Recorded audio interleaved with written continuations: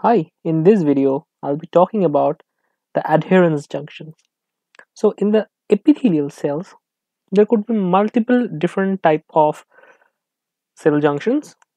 There could be adherence junctions, there could be gap junctions, there could be tight junctions, and so on. So in this particular video, we'll focus on adherence junction and its physiological relevance and importance in development and cancer. So the adherence junction between two cells are just like uh, uh, something is hooked into into a wall. So it's like so there would be something anchoring region, and on the other hand side there should be some support, and we would be talking about that in this whole video.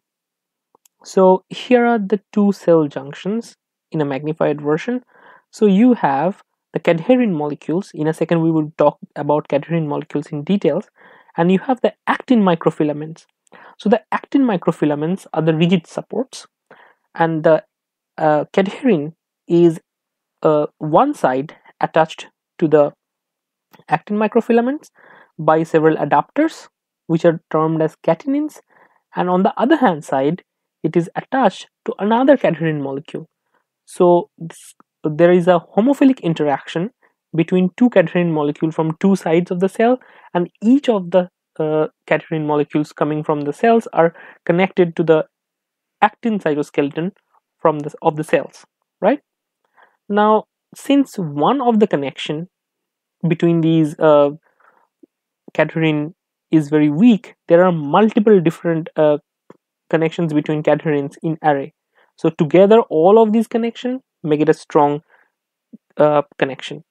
Now these cadherin proteins are connected to the actin cytoskeleton by catenins.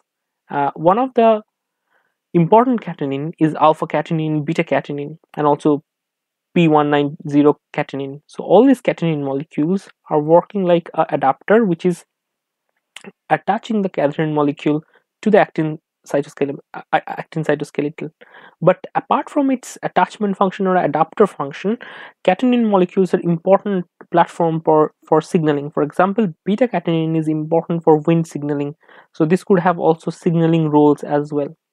Now, this cadherin has five uh, extracellular domains which are like in a jumbled situation when there is no calcium available or when, when the calcium level is low. But when the calcium level is high there is a conformation shift. So it becomes more rigid and less flexible and they also dimerize to form a rigid structure which is like which can interact in cadherin molecules on the other hand side. And this homophilic interaction though each homophilic interactions are weak but together all the homophilic interactions make it a very strong junctions and connection between them. So cadherin basically connect the two nearby cells like a velcro. So each of the interaction between the velcro is weak but together the velcro interaction is pretty strong. So this is a crystal structure of the cadherin which shows the ec1 domain of the cadherin from coming from the each side of the cells are interacting with each other and the cadherin need calcium for their interaction. So it, it has been seen when the calcium is washed away or calcium is chelated the adherence uh, the in in vitro situation or even in in vivo situation the cadherins cannot interact with each other in a strong manner. So there could be multiple different type of adherence junction. Sometimes they are punctate so they are known as punctate punctum adherens sometimes they are like a zone or band of uh, adherence junction known as zonula adherens and there could be even complicated tricellular adherence junction as well so we now talk about adherence junction and it's important and cadherin it's important in terms of the development.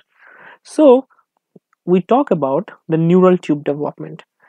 So we know after gastrulation there are three defined germ layers, the ectoderm, the mesoderm, the endoderm.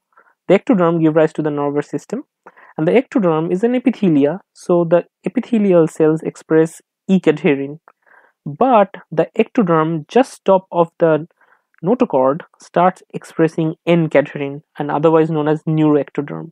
So you can understand the neuroectoderm is just differentiated from the nearby ectoderm by the expression of specific different cadherin, N cadherin, and the other ectoderm tissue express E cadherin. So depending upon the expression of the adherens junction proteins, the tissue identity could be different. Now later on, when the neural tube is folding a neural crest cells are migrating out, they express different type of cadherin. For example, the region which is known as the floor plate, which is just above the notochord, starts expressing cadherin 6B, whereas the other cells of the uh, neural tube uh, express different cadherin, different N cadherin. The migrating cells, which are neural crest cells, express cadherin 7. So depending upon the type of cadherin it use, its adhesion properties are very different and, and sometimes the adhesion remodeling can give rise to the cell migration and cellular uh, change in cellular architecture. Now we talk about brain development. In the brain development, these adherens junction proteins, especially the cadherins, has huge role. Now, when our brain is developing, it has uh, something called ventricular zone. In the ventricular zone, there are mostly cells which are neuronal stem cells. They are progenitors. They would give rise to neuron and glia eventually. They are connected to each other by these adherens junction proteins, especially the cadherin 2. Now, what happens is the the and these specific interaction between the cadherins are very strong. They allow these cells to divide continuously and increase in number before they can give rise to other particular uh, other particular neuron or glia. And these adherens junction based interaction also ensures that they don't leave the ventricular zone and mismigrate into other regions so they they so hold still on top of the ventricular zone so what happens is this cadherin 2 which is uh, one of the specific neuronal cadherin is very important in in some cases where this cadherin 2 is mutated there is drastic changes in the brain so in the normal mouse brain, it has been seen there are apical progenitors marked here in green and the basal progenitors or marked here in the red are distinct are, are separated by distinct zone. Now what happens in a cadherin 2 mutant mouse is the apical progenitor and the basal progenitors their adherence properties are altered so they kind of intermingle with each other and they move out to any location. That leads to a huge defect in uh, layer formation in the brain and the whole brain seems to be jumbled up. The whole cortex seems to be jumbled out and eventually these animals die.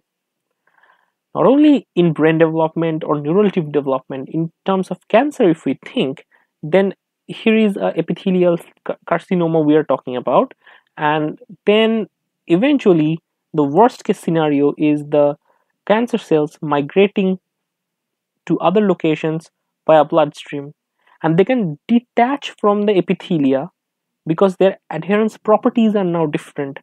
It turns out that most of the cases, the expression level of E-cadherin in cancer cells are drastically low than the controls. That allowed them to easily detach from the epithelial layer and move around the body and invade other organ and thereby uh, giving rise to a secondary cancer uh, outcome. So this is how adherens junction and cell junctions plays a vital role in cellular morphogenesis from brain development even cancer. So if you like this video give it a quick thumbs up. Don't forget to like share and subscribe. And do let me know in the comment how do you like my videos? Thank you